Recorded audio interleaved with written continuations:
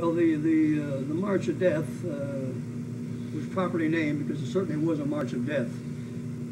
I think something like 10,000 men perished, died during the March of Death. The, the, uh, the preponderance of those people were Filipinos. We probably lost about a thousand men. The remaining number were Filipinos. Of course, there were around 60,000 Filipinos around the March of Death, and there were around about 15,000 of us. And during the March of Death, uh, I saw several atrocities. One that I'll never forget is when I saw a Japanese tank that was coming in the opposite direction that we were marching and deliberately swerved from its course and ran over a young American, caught him under the tracks of his tank, and literally just crushed him right in the ground. His body became a part of the road. Another incident that I remember very, very vividly is a young Filipino scout had both of his legs amputated, and the bandages on his legs that were remaining were still fresh with blood. And here this gentleman was on his stomach trying to make the march by pulling himself along the road just with the use of his arms. We arrived at Camp O'Donnell, which was one of the real terrible prison camps. And during the two months that I was incarcerated there, they buried 1,100 Americans and 14,000 Filipinos. In fact, death was a part of our life. They, uh, they were burying 50 and 60 Americans every day. Every day, 50 or 60 Americans would be buried. And they didn't even have the decency of burying the men with any, uh, any ceremony whatsoever. They just throw their body into a into an open grave like there was a piece of cordwood and they wouldn't even allow us to arrange the body in any orderly fashion. Uh, but that Camp O'Donnell was a was a terrible prison camp. And then you went from there to. Then from there, I uh, they moved me from Cabanatuan, from Camp O'Donnell to Cabanatuan, and here again, Cabanatuan was a very terrible prison camp. Uh, again, they were burying 50 and 60 every day. And I was there for five months, and then they moved 2,000 of us to the island of Mindanao, to the Davao Penal Colony. And uh, we were on board a ship for, I think, around 10 days. We arrived from the island of Luzon to the island of Mindanao, to the Davao Penal Colony.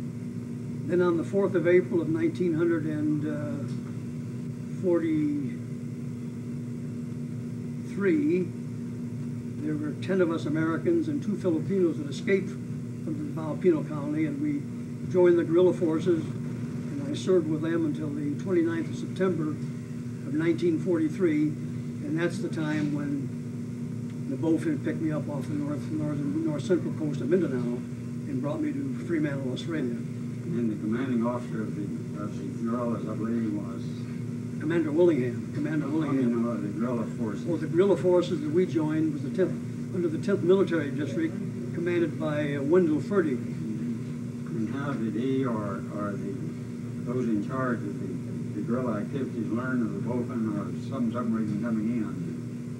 Well, at that time, they did have uh, transmitters, and they were able to transmit information to some agency in Australia. And uh, the message went out that there were 10 Americans who had escaped from the Davao Penal Colony, and they had very vital information concerning prisoners of war who were captured on Bataan and Corregidor. And they shortly thereafter they uh, they uh, sent a submarine out and picked up three of our escapees. One was Commander McCoy, Melvin Ace McCoy, who was a Annapolis graduate, and uh, Steve Mellnik, who was a West Point graduate, and my squadron commander Ed Dyess, and they named Dyess Air Force Base after him in Abilene, Texas. And then it was on the, it was shortly after that is when the, the Bowfin came in and picked me up.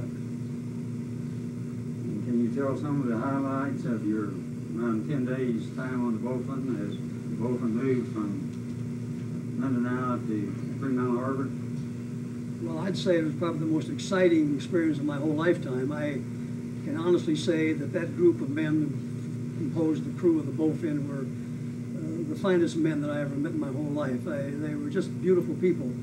The thing that really impressed me was the time when we sunk the first ship. The klaxon horn went off, and these men manned their battle stations. You, you could just see organization and, and, and, and dedication. They, they knew what they were doing, and, and they did it. They sunk the ship off of, uh, between Borneo and Zamboanga.